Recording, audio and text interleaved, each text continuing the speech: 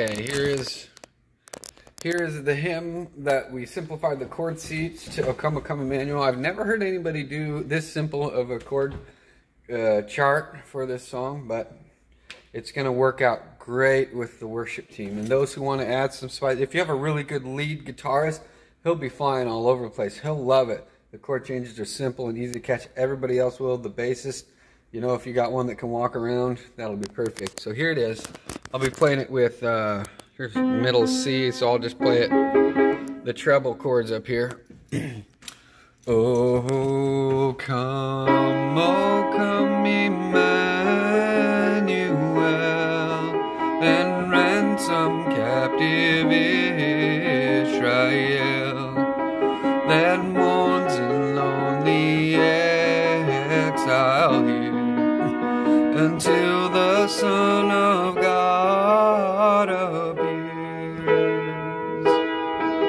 Rejoice, rejoice, Emmanuel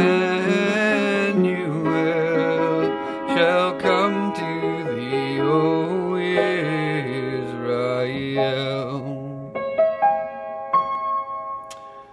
Oh, come thou day spring, come and cheer our spirits by thine advent Disperse the gloomy clouds of night, and death's dark shadows put to flight. Rejoice. So I'm going to show you my fingerings here. I noticed that I've only been playing piano for a couple years. Mostly I'm a, started on guitar forever, done guitar forever. But I learned real quickly that if I'm looking down, I'm not looking at the chord sheet and I have to memorize the lyrics or I have to get uh, easier chordings with my fingers. So check this out. This is a pretty easy way to do this song. We sing, um, Oh come, oh come, Eman. The F sharp, it's the F sharp minor. I just keep my thumb right here. Oh, C sharp minor, come, oh come, oh E man, F sharp minor, Manuel, back to C sharp minor, and ransom captive. G sharp is, I just go like this. I just move my fingers down one each.